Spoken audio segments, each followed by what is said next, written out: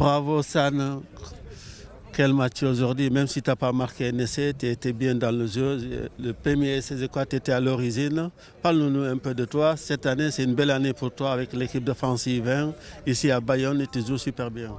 Ah oui, ben forcément, euh, c'est une super année pour, euh, pour moi. Je joue dans une super équipe euh, en espoir. Franchement, on se régale sur le terrain à jouer tous ensemble et ouais, que, que du plaisir pour l'instant.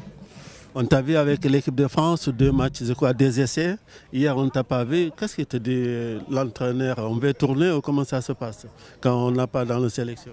Non, non, mais il, nous, il nous dit la sélection et après, il, il nous prend un entretien, il nous explique pourquoi et tout ça. Après, il y avait des joueurs qui, étaient, qui devaient revenir et bon, c'est comme ça. C'est dommage, mais c'est comme ça. C'est quoi ton objectif ici? Peut-être un jour te voir avec le senior Ah oui, oui forcément. Euh, c'est l'objectif, c'est le rêve de, tout joueur de toute façon de jouer en équipe professionnelle. Euh. donc euh, ouais, oui, c'est un rêve et un objectif.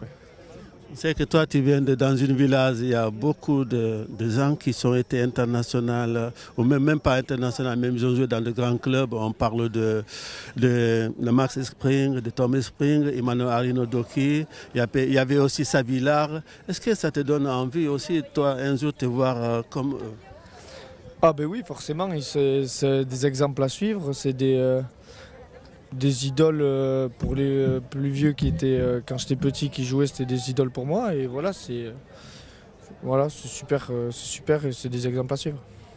Est-ce que là, l'année prochaine, peut-être on peut te voir avec, on ne sait pas, ça dépend des entraîneurs, mais si tu continues comme ça, parce que aussi, on sait aussi, il y en a certains de Garassi qui sont venus, malheureusement, ils n'ont pas pu percer, ils ont retourné au village. Est-ce que tu penses à ça? Tu dis non, pour le moment, moi je profite le match ici Mais moi, dans tous les cas, je profite euh, dans n'importe quel club où je joue. Euh, je joue pour le plaisir. Donc, euh, si, ça se passe pas bien, je repartirai à Nafaroa et ce sera quand même du plaisir.